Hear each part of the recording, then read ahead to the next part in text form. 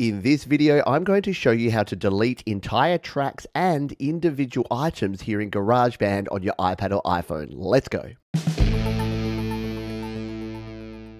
GarageBand iOS allows you to delete things in two different ways. You can either delete the entire track. Now, to do that, we tap right here on the actual icon and hit the delete button here. That will remove the track and any items that are on that track. It works the same way here for audio tracks. Tap there, tap delete, and they go away. Now, if you make a mistake, don't worry. The undo button is here to help you. We tap undo, that track comes back. We tap undo, and that track comes back as well. Unfortunately, there's no way to multi select tracks. So if you have a multiple tracks you need to delete, you'll need to tap them, tap again, and delete them one by one. That's entire tracks. But what if you want to delete out just one particular section of audio or MIDI? That's what we're going to cover now. To delete an audio item, we simply tap on the item, tap again, and hit the delete button here. That's going to delete that completely. We can again undo it by tapping on the undo button. And did you know you can redo by tapping and holding on the undo button? You can redo that and undo that. Now make sure if you delete something and you want to undo it, you do that before you close the project.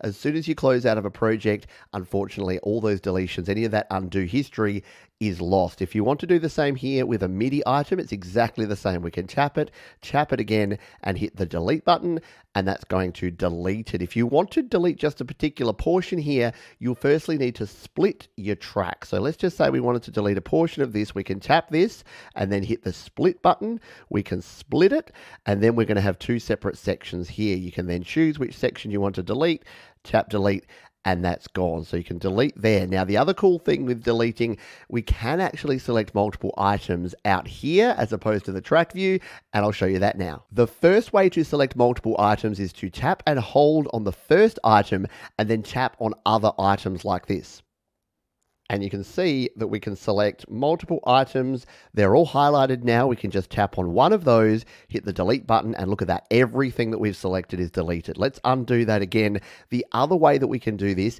is by drawing a box, and this is actually the easier way. So especially if you have some space before the track there, you can just tap and hold, and you see you get your flashing box, and then you can just drag that around. And as many things as you drag that around, that is what's going to be selected. And then when you're ready to delete, you just release that, tap, tap again, and hit the delete button. And this works for a lot of the other functions as well if you wanted to do multi-selecting. So you've got your tap and hold method, or you can drag around. The one final thing you can do is if for whatever reason you want to delete absolutely everything and start again, if we tap out here in any blank space and hit select all, then you got it. You've selected absolutely everything. We can now tap in one of these, hit delete, and blank project time. There you go. That's everything you need to know about deleting here in GarageBand. Heaps more GarageBand related tips here on the channel. Jump down to the description for a whole bunch of videos, and I'll see you next time.